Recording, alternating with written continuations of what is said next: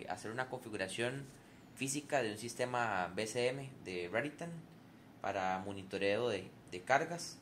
Tenemos un módulo PMM1000, eh, tenemos un módulo PMB 1960 para los branch, este es para la parte principal del monitoreo, y un PMC, que es un controlador, eh, que es quien me, administra todos los, datos eh, recolectados en el, en el sistema.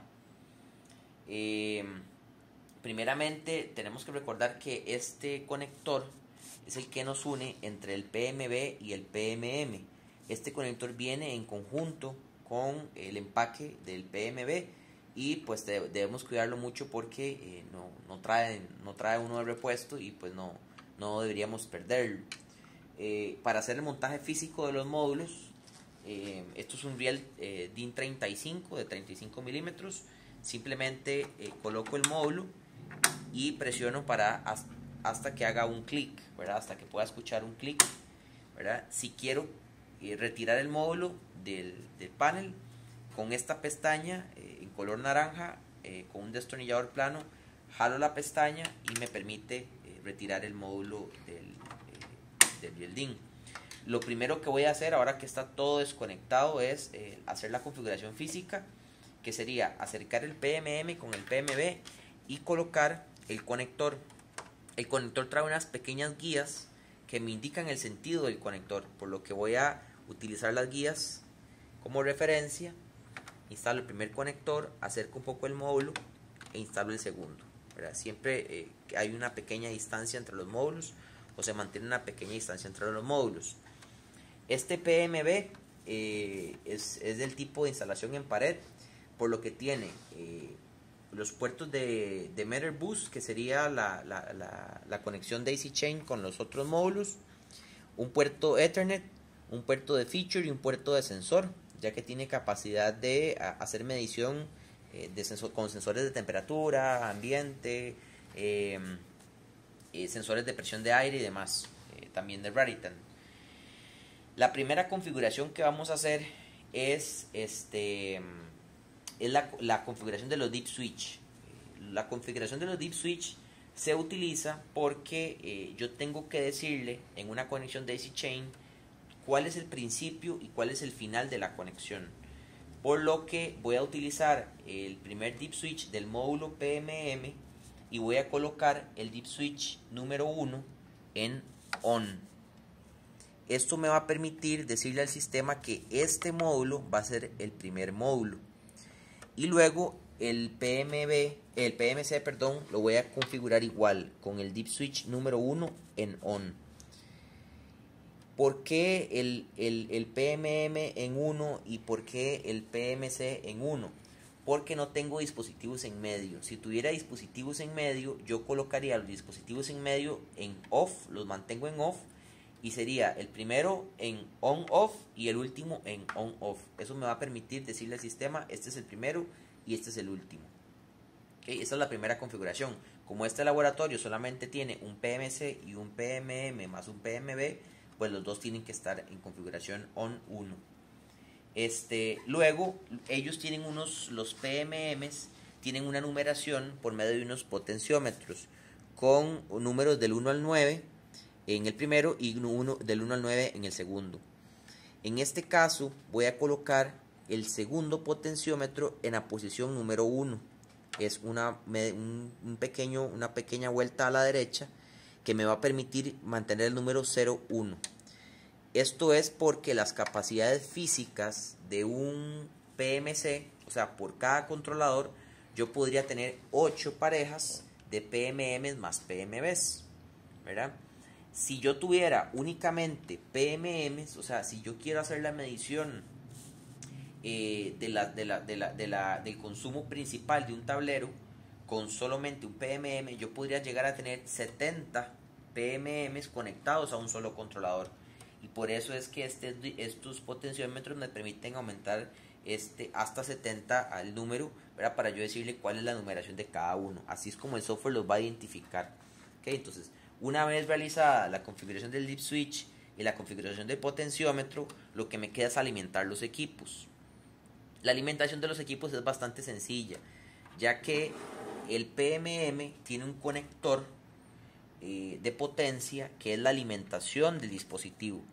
Esta alimentación puede ir desde 90 voltios hasta 240 voltios, entonces no importa si tenemos un sistema eh, monofásico o bifásico o como sea, podemos eh, alimentarlo de acá. Una de las opciones o de las más comunes es que como esta entrada de acá, este conector, me permite hacer medición del voltaje del panel que, que estoy intentando eh, medir, yo puedo hacer un puente entre esta conexión y esta conexión. ¿Por qué? Porque en realidad los equipos no consumen tanto y pues no estaría afectando eh, el consumo ¿verdad? del panel en, una forma drástica. Eh, podríamos hacerlo de una forma auxiliar, ¿verdad? con una fuente de poder aparte, como en este caso. Yo tengo un, ya el conector este, conectado a un 120 voltios. Voy a conectar el dispositivo solamente para que vean, empieza a parpadear el, el, LED y esto me va a permitir este, alimentar el módulo. Entonces no requiero hacer el puente entre, el, entre la medición de voltaje y la potencia del, del, dispositivo. En, en, este caso, pues lo vamos a hacer así por, por temas de laboratorio. Voy a desconectar. Y luego vamos a tener un cable, eh, un cable como este de CTs de 12 conectores cada cable viene enumerado o viene etiquetado con un CT1, CT2, CT3 y CT4 hasta CT8. ¿Por qué? Porque el módulo PMB, el módulo PMB va a venir numerado de esta forma. CT1, CT2. El CT2 sería el de la parte trasera. CT5, CT6, CT6 sería el de la parte trasera. Y acá CT8 y CT7 igual y CT4 y CT3 igual. Entonces cada cable que yo compro o que yo adquiero con Legrand debe venir etiquetado y debe ser ubicado en la posición correcta para, para poder indicarle al PMC cuál es la posición exacta de los, de los, de los breakers que vamos a monitorear. Ok, vuelvo a conectar. Y también voy a tener un cable de conexión principal que va a decir CT, A, B y C por ser un sistema trifásico o puede ser un sistema trifásico de tres fases más neutro más tierra. ¿okay? Y este conector lo vamos a, eh, a colocar en el puerto ¿verdad? de CT, A, B, C, N, E del PMM. ¿okay? Conectamos el primero y vamos a conectar el, eh, el otro cable de CTs este como es un CT2, vamos a conectarlo en el CT2 de la parte trasera. Todos los cables deberían hacer un clic cuando yo conecto. Por otra parte, voy a tener los CTs. Estos son dispositivos de medición que me permiten hacer la instalación eh, en caliente, básicamente sin desconectar el panel o sin tener que hacer un gran mantenimiento este, para poder hacer la conexión. Entonces yo voy a colocar el cable de potencia de la, de la, de la, de la alimentación principal del panel eh, y le voy a conectar este CT alrededor del cable y pues con un solo con un solo plugin al conector del CT vamos a designarle cuál de las fases sería, ¿verdad? Este, en este caso sería la, la A. Voy a conectar esto y ahí quedaría conectado el primer CT de potencia de 250 amperios a eh, la primera fase del panel. Y luego tengo los CTs pequeños, que son los CTs para los branch circuits eh, o los breakers más pequeños del panel, que son de hasta 60 amperios. Esto es igual, los vamos a tener enumerados De, en, cada cola. Y él trae dos etiquetas. Trae la etiqueta roja y la etiqueta blanca. La etiqueta roja me eh, me indica que yo, la conexión de mi panel es, este, es alternada. ¿Qué significa? Que del, de un, del lado izquierdo tendría mis breakers 1, 3, 5, 7. Y del lado derecho de mi panel tendría el 2, el 4, el 6. Entonces, de esta forma, eso se llama eh, odd even, la configuración en el software, este, y sería con las etiquetas rojas.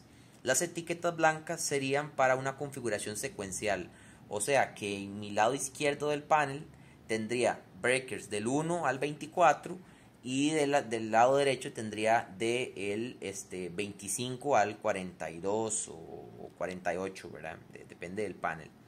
Este, esto es eh, el identificador. Entonces, y al igual que el, que el otro CT, me permite la instalación en, caliente y con un simple plugin puedo eh, colocar el CT de una forma muy sencilla, ¿verdad? Alrededor del cable y listo.